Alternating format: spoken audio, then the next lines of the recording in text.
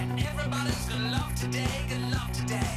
You want to, you've got to.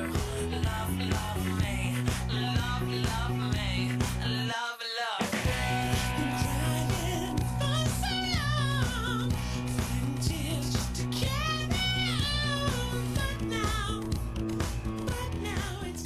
Good morning, everyone. I'm Holden Robinson with Glen Este News. Here's a look at the neat interesting things that have been going on at Glen Este. Some of you may have participated in, and some you may have not heard about. Amanda Sharp has a report on the students who participated in the mock trial competitions, as well as a report on the Cincinnati Playhouse in the Park production, Destroy. We get to look back on the Love is Louder assembly, and if you missed it, a look back on the Dancing with the Teachers competition. But first, Alex tells us about this weekend's 30 hour famine. Sure. 30 Hour Famine is a, an activity put out by an organization called uh, World Vision, which is very active in feeding people in developing countries.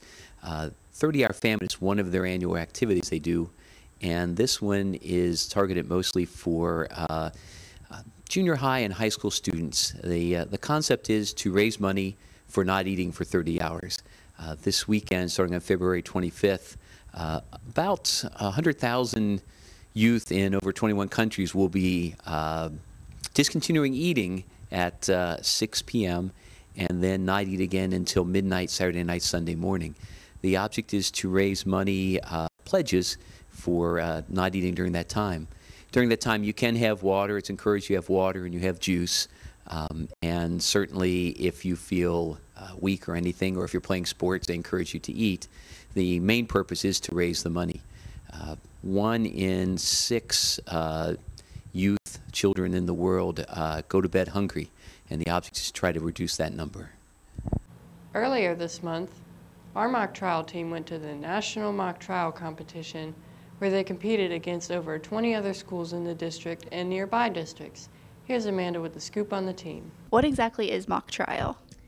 Um, well, mock trial is an academic competition that is held all across the nation, and uh, it's basically a team of students is presented with a case which is not real, but it's based off of a real case that might have occurred or a current issue in society, and you have to take up the positions of attorneys and witnesses and argue the case in your favor. Uh, mock trial is a competition that's held basically nationwide where um, students get to act as lawyers and witnesses, and they get a fake mock trial case, basically, and they get to act out witness parts, and the lawyers create questions and basically go through a whole trial process. Why did you join mock trial?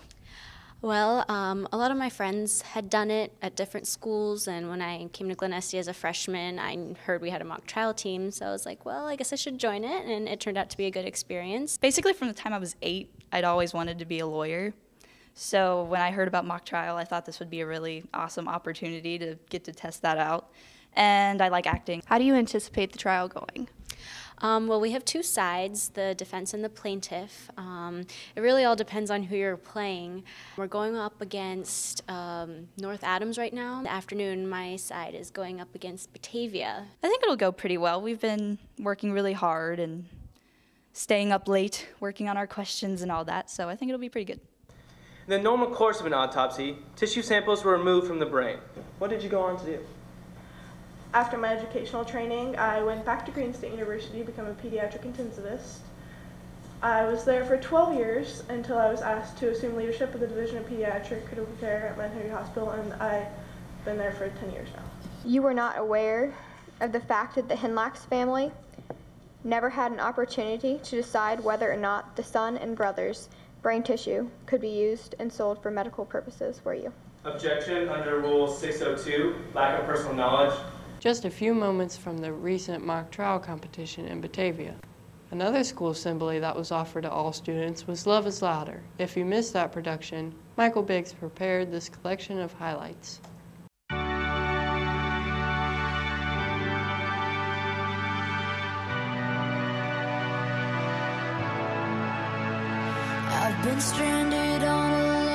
I found out about it on my friend tw- tweeted about it on Twitter, and I went on and did some research about uh, Brittany Snow and the, the whole thing, and um, ended up being really inspired, and I wrote a song, and then I just kind of put it out there and tried to see like who latched onto it.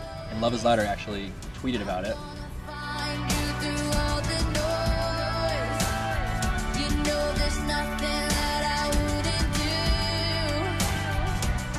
Well, actually, believe it or not, I was thinking about doing something like this in high schools in Texas because I'm from Dallas.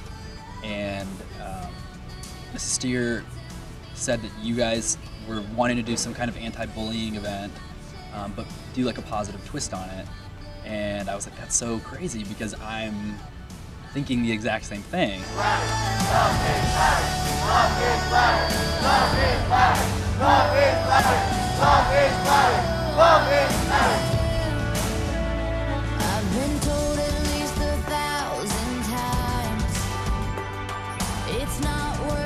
This is kind of like the tester school.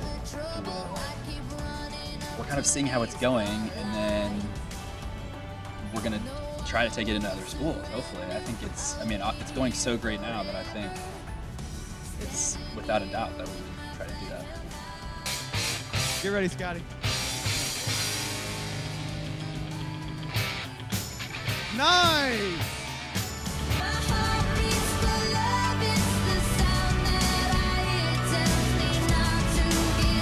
I am not directly connected with Love Is Louder. Like, I'm not on the board or anything like that. I'm just a normal guy who heard about Love Is Louder and decided to raise my voice in the way that I could. And I want to let you know that love is louder than anybody's negative voice. Keep doing you.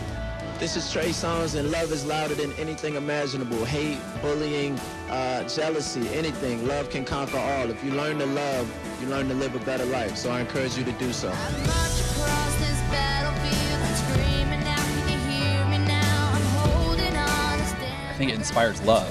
That's the main thing. I think it's simple and it's positive.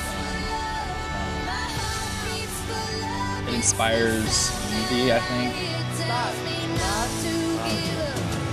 Love. Homophobia. Ignorance. Love is louder. Tolerance and weakness than hatred. Love. Love. Love. Love. Love is louder. Is louder. Is louder. Louder than fear, oppression, and racism. It inspires, I think, students to believe in themselves, and um, there's so much positivity in it. Love is louder. Love is louder. Love, is louder. Love is louder. Love is louder. Love is louder. Love is louder. Love is louder. Love is louder. Love is louder.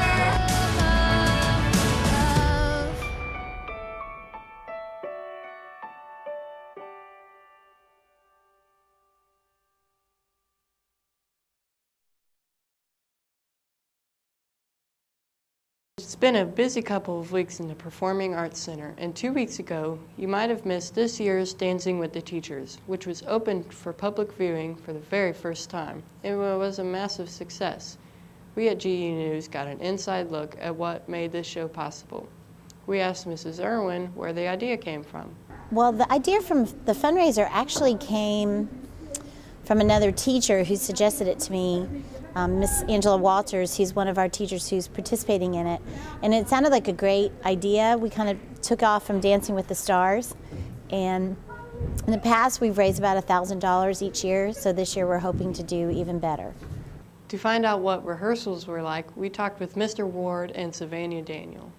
uh, to rehearse. Um, I- I'd say at at first it's pretty difficult. Uh, you got to go through it. Um, it's a lot harder for her, I think, 'cause she's used to having a partner who's used to knowing what they're doing. So I kind of looked at her to, to help me out, and uh, and she looks at me like, "You were supposed to do something there," and I was like, "Oh." It's very crowded because all the teachers were all on the floor at the same time, so it's hard to practice with just us and do everything full out with everyone. But it's working and it's fun. Um, I choreographed three dances for the teachers the jive, the waltz, and disco, and taught that in. A, we've been rehearsing for the past two weeks, and so they're doing a great job. How are the couples picked? I, I, I just emailed Miss Irwin and said I'd like to do this, and then I and then she I think she decided who would go with who. yeah, she basically her and the officers of dance company we just sit down and think height wise and the upper levels of company who would be good to partner with which teachers that want to do it and stuff so I, I thought it was a bad idea putting us together because she's probably the most talented dancer and I'm easily the best teacher in, in, in the school, so I, it's going to be a runaway. very true we're going to beat mr reardon and Oh, yeah. george Yeah, Sturgeon, oh, yeah. sure Well, I, I pair them up by size, and I pick the best dancers in company, the ones who have the most experience, because my dancers are supposed to be the professionals to help out the, the teachers who are the amateurs. So I want to make sure they get the best dancers that I have.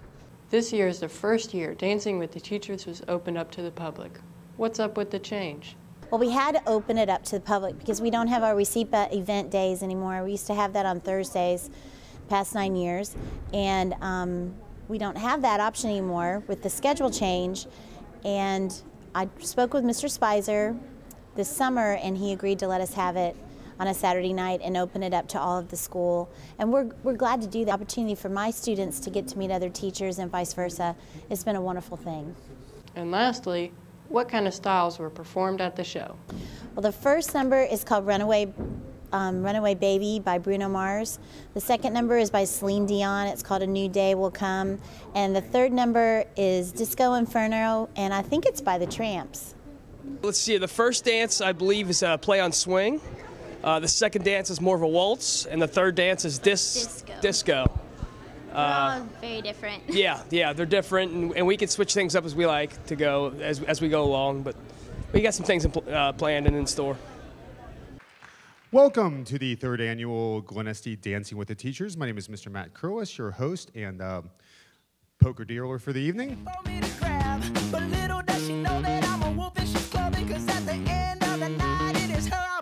I love you so. Hey, that's what you'll say. That's what you'll say. Get away, get away,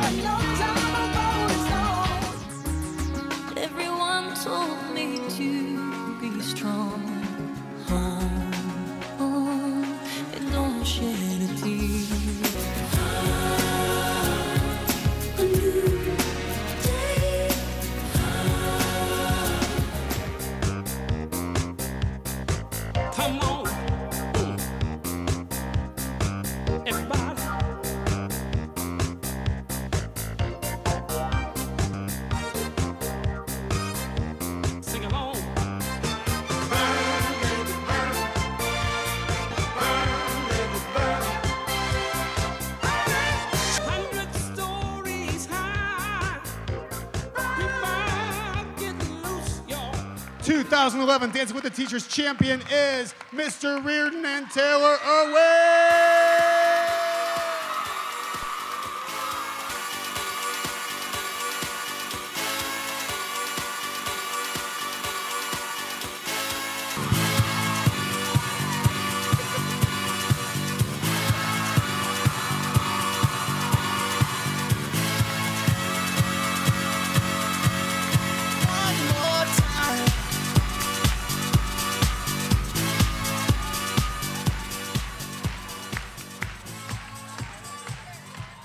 Great job to everyone who participated in this performance, and you'll be glad to hear that the school raised about $2,000.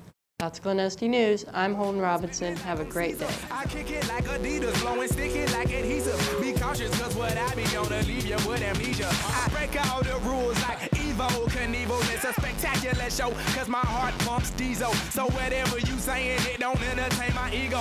I do this every day. Hocus pocus is my stilo. Magic in me. I got the magic, baby. Every time I touch that track, it turns. in-